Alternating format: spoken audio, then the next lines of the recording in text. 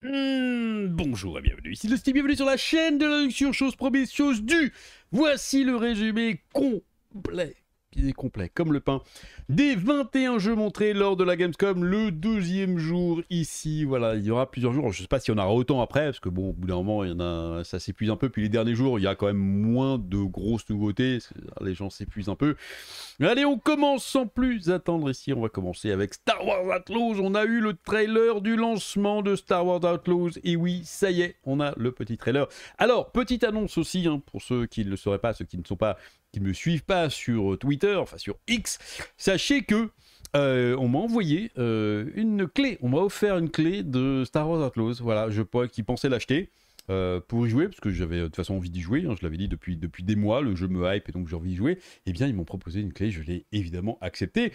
Donc je l'ai reçu, ça marche, j'ai réussi à lancer le jeu. alors, il y a une période d'embargo, Désolé. Donc je ne peux absolument rien dire. Sauf que le seul truc que j'ai le droit de dire, me semble-t-il, c'est que j'ai reçu la clé et que, j'y joue. Voilà. Donc je. Et de montrer des. Je peux pas montrer de choses qui n'existent pas déjà. Donc ça, je peux le montrer, hein, puisque c'est le trailer. Euh, et je ne peux rien dire du jeu. Alors, euh, c'est un jeu Star Wars, ça j'ai le droit de le dire. Donc voilà, le l'embargo se finit le 26, me semble-t-il. Donc j'ai quelques jours pour y jouer un petit peu. Et donc du coup, le 26, euh, c'est la fin de l'embargo, donc je pourrais en parler. Euh, et je pourrais peut-être faire un live aussi dessus, on va voir, avec mes amis du coup, influenceurs.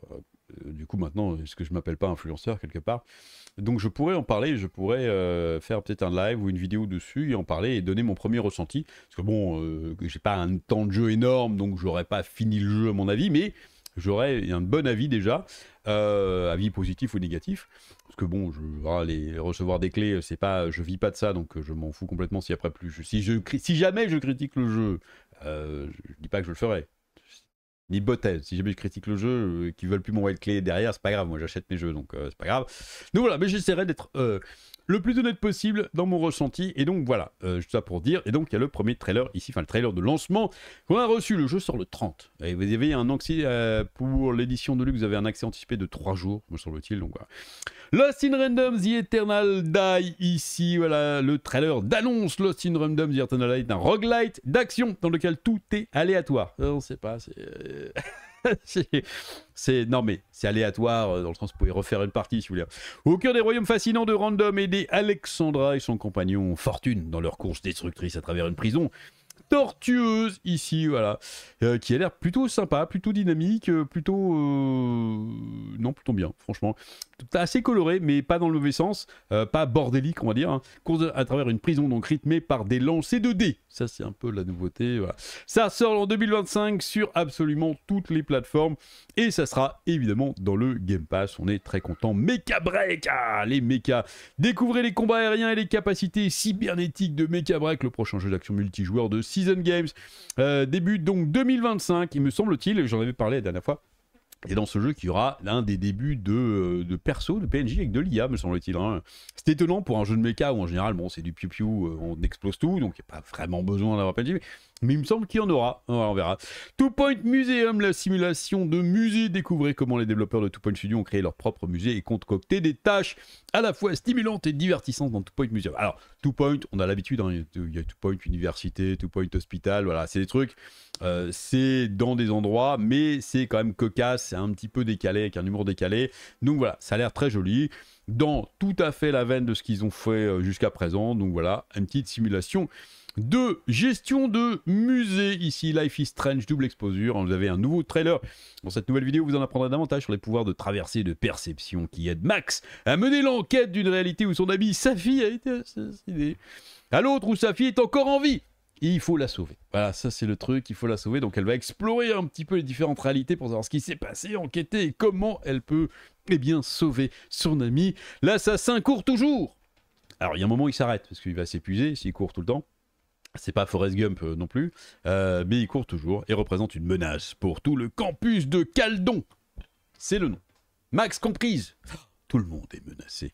Date de sortie le 29 octobre 2024 euh, sur eh bien, Xbox Series X, PlayStation 5 et PC. World of Warcraft The War Within. On a un nouveau trailer qui c'est moyennasse, j'ai trouvé. autant le précédent était génial, celui-là est moyennasse. Alors le but ici est de présenter un petit peu les nouveaux pouvoirs parce que il va y avoir des capacités héroïques. Voilà, vous avez toujours l'arbre de talent. D'ailleurs, les nouveaux arbres de talent sont sortis hein. déjà avec il y a une mise à jour. Peut-être qu'ils vont changer euh, un petit peu, mais on a déjà les nouveaux qui ressemblent vraiment beaucoup à ceux qui existaient déjà, donc pas énormément de surprises. Quelques petites déceptions pour moi, hein, pour certains persos qui ont l'impression d'avoir un petit downgrade, mais bon, pas grave. Euh, tout ça sera ajusté, mais surtout il va y avoir donc des nouvelles capacités héroïques. Et alors, euh, quand on regarde le trailer, regardez ici notre ami le druide qui fait apparaître deux petites tréantes, hein, deux petits arbres ici. Notre ami le nain ici euh, qui se met en mode berserk blanc ah, et qui fait des éclairs, ça vous rappelle rien tout ça? Ouais, mais ça me rappelle les capacités des héros dans Warcraft 3.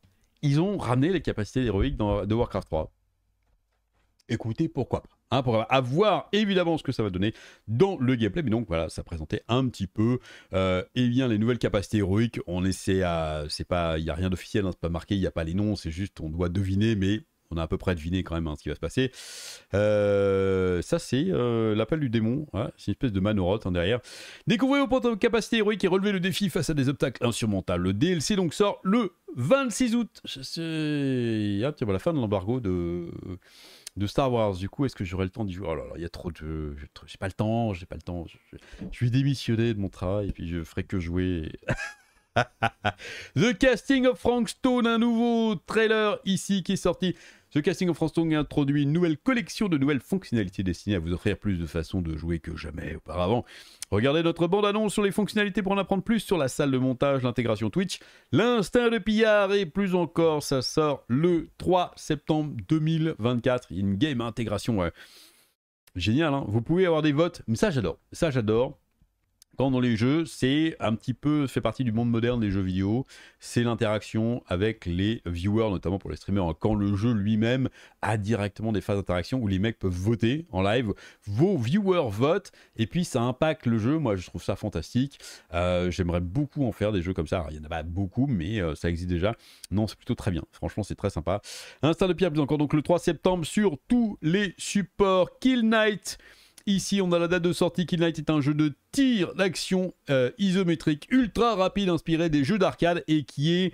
Alors, ça, il a l'air excellent. Quand je regarde, il a l'air excellent parce que c'est typiquement le, jeu, genre de jeu que j'adore, mais un petit peu bordélique pour moi. Il y a par moment on dit ouh ouais d'accord ok euh, tiens je suis mort ensuite je suis mort je sais pas pourquoi condamné à souffrir éternellement ça, c'est le lot quotidien de tous ceux qui bossent. Dans le vide profond d'une arène cabalistique, maniez des armes destructrices pour annihiler les hordes d'horreur surnaturelle et dompter votre démon intérieur. C'est bien ce que je dis, c'est notre lot quotidien. Elder Scroll Online, attendez, ça sort le 3 octobre. Voilà, je l'ai déjà dit, 3 octobre sur toutes les plateformes Elder Scroll Online. Discussion autour de Gold Road. Il y a donc 10 minutes de discussion hein, qu'on a eu. Les 10 ans d'Elder Scroll Online avec Richard Lambert et Matt Firor. Découvrez les nouvelles aventures qui vous attendent avec la dernière mise à jour de Gold Roll, hein, la, route dorée. Ici, on a vu. Ah, vous pouvez les regarder hein, sur le site d'IGN. Il y a la, vidéo si vous voulez en savoir un petit peu plus sur la nouvelle update. Pour, eh bien, Elder Scroll Online Fragpunk, ici présentation de gameplay. Un nouveau jeu de tir à la première personne 5v5, basé sur des héros. Ah, quelque chose qu'on n'a jamais vu. c'est un nouveau concept, euh, du jamais vu, voilà. Alors, euh, bof, franchement bof. Euh, c'est non mais c'est du déjà vu, revu, revu avec des capacités. Alors là, c'est trucs colorés un peu en punk, hein, frag, hein, frag punk, mais ça a vraiment, il y a des talents. Ils ont essayé de faire un petit peu des trucs un peu nouveaux, mais moi je je vois vraiment pas la hype sur ce genre de choses. Hein. C'est ultra saturé le, le monde du euh, du 5v5 ou 6v6 euh, héros jeu de tir Bref, bon, date de sortie inconnue en tout cas. La bêta fermée, ce sera début octobre et ça sort sur Xbox et PC. J'en ai parlé ici dans mon point gaming Redacted. Le trailer d'annonce, hein, c'est le roguelite en vue isométrique, riche en adrénaline, hein, qui sort de Callisto Protocol, inspiré de Callisto Protocol. un agent de l'ombre observe la prison de Black Iron alors qu'elle sombre dans le chaos, dans le rôle d'un garde. Vous êtes un gardien de prison. Voilà. Vous devrez affronter des monstres, des rivaux et des morts vivants. Ça sort le 31 octobre 2024 sur de Xbox Series, PS5 et PC. First Descendant, ça y est, la saison 1 est là avec notamment les super costumes sexy Ah oui, on va voir des fesses, on va voir des... Ah, c'est fantastique. La première mise à jour de la saison 1 de Descendante Invasion propose un nouvel épisode ainsi que les événements Invasion, la nouvelle descendante, Hailey, l'ultime Freyna, les armes ultimes, le nouveau chasseur de la mort en interception et un système de progression exclusif à la saison appelé Renforcement Inversion. La saison 1 Invasion sera publiée en 3 mises à jour à partir du 29 août, très bientôt, dans 3 jours, et proposera un contenu varié avec de nouveaux défis et de nouvelles récompenses. Non, quand je dis dans 3 jours, par exemple, je me suis trompé, dans semaine. Je me voyais déjà le 26. Euh, j'ai parlé du 26 en début, petit lapsus, c'est pas grave. Date de sortie donc le 29, ici sur Xbox Series X, PS5 et PC. First Berserker Kazan, j'en ai parlé aussi dans mon point gaming. Découvrez le système de combat, les mécanismes de base de Kazan ainsi que l'introduction de la lance et de l'épée. Regardez Kazan présenter des combats élégants je sais pas ce que c'est des combats élégants, mais bon. Et basé sur les compétences tout en affrontant deux puissants boss dans des batailles prolongées. Ici, on a la fameuse ours. Ça sort début 2025. Et vous aurez un test technique du 11 au 20 octobre sur Xbox Series euh, X, PS5 et PC. Voilà. Alors, je vais expliquer. Le jeu a l'air très joli. Ça a l'air d'être un Souls-like absolument très bon et très dynamique. Et ça, j'aime bien. Par contre, peut-être un peu trop jeu de couloir. Bon, après, il y en a qui aiment. Chacun euh, son truc, mais pour ceux qui aiment pas trop, qui aiment bien avoir plus de liberté, on verra bien. Microsoft Flight Simulator, on ne présente évidemment plus ce jeu. Mise à jour et nouvel avion. Voilà, mise à jour 17 de Microsoft Flight Simulator World, Allemagne, Autriche et Suisse. Est disponible aujourd'hui gratuitement pour tous les propriétaires de, du jeu. Hein. Le FW200 était un avion de ligne euh, qui établissait des records dans une classe à part. Le Focke-Wulf, c'est le nom, il s'appelle le Focke-Wulf. Pauvre loup. FW2 de Microsoft Simulator est une reproduction spectaculaire de l'original. Les pilotes se réjouiront. Et oui, avec Focke-Wulf, on rejouit. Des détails et des performances de vol de cet avion gracieux lors de vols autour du monde. Little Nightmares 3, présentation de gameplay embarqué dans une aventure dans le monde unique de Little Nightmares dans Little Nightmares 3. Accompagnez Lo et Alone dans leur voyage à la recherche d'un chemin vers la sortie du néant.